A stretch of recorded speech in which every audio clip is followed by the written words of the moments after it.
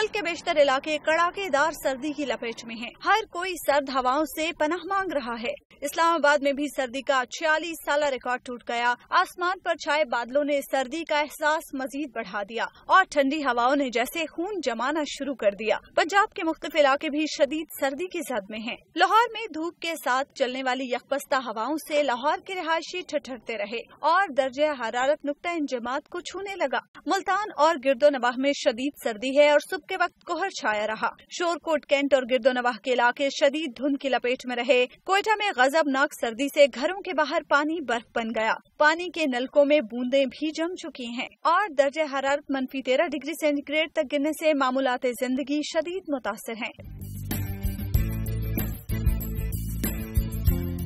कल्लात जियारत, दालबंदीन खुजदार पंजकोर पशीन, किला सैफुल्ला, मुस्लिम बाग, चमन और जोब में शदीद सर्दी पड़ रही है। महकमा मौसमियात के मुताबिक दो रोज बाद सर्दी की शिद्दत में कुछ हद तक कमी का इम्कान है। कराची मुसलसल शुमाल मगरबी सर्द हवाओं की जद में है। खैबर पख्तूनख्वा के बेशतर इलाकों में खुश्क सर्दी से सरगर्मियाँ सुस्त हो गई हैं। गिलगित में सर्दी की शिद्दत में इजाफे और बालाई इलाकों में बर्फबारी के बायस इस्तोर और हुंजा गोजाल के इलाकों का जमीनी रास्ता दीगर इलाकों से कट गया है। शदीद सर्दी से झीलों और दरियाओं का पानी भी जम गया है, जबकि मौसम की शिद्दत के पेश नज़र तालीमी इदारों में भी तातीलात हो गई है। महकमे मौसमियात के मुताबिक आइंदा 24 घंटे के दौरान मालकन डिवीज़न, गिलगित बल्तिस्तान में चंद एक मकाम पर हल्की बारिश और पहाड़ों पर बर्फबारी हो सकती है।